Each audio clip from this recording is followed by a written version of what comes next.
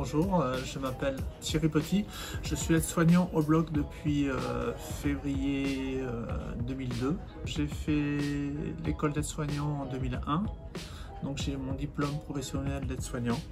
Alors je suis au CH d'Abbeville depuis l'école des aides-soignants en fait. Avant d'être au CH d'Abbeville, j'ai travaillé à l'hôpital local de Saint-Valery sous la forme d'un emploi jeune, c'était un contrat en fait. Et ça m'a fait découvrir le métier d'aide-soignant. Donc euh, j'ai souhaité poursuivre euh, dans cette euh, démarche. Donc j'ai quitté l'hôpital de Saint-Valery, j'ai passé le concours d'aide-soignant, j'ai été admis donc, à l'école des aides-soignants de l'IFSI d'Appil.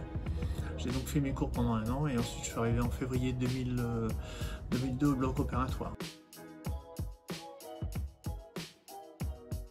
Alors l'aide-soignant au bloc opératoire c'est assez spécifique en fait.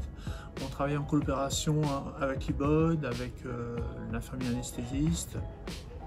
Donc nous en fait on s'occupe surtout de l'installation des patients en salle d'opération, donc toujours avec l'IBOD et le chirurgien. On s'occupe aussi de la désinstallation du patient, du recouchage du patient.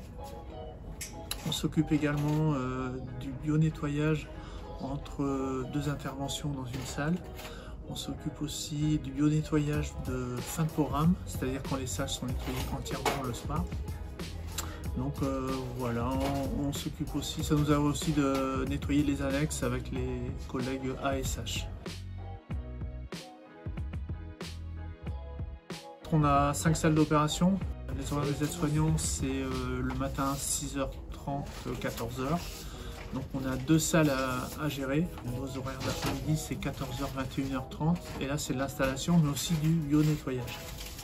Au niveau de l'équipe, on est 6 aides-soignants. Vous avez deux aides-soignants le matin, deux aides-soignants le soir.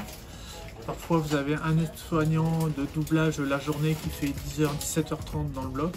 Et vous avez aussi également un aide-soignant qui est en salle de réveil qui fait 8h, 15h30.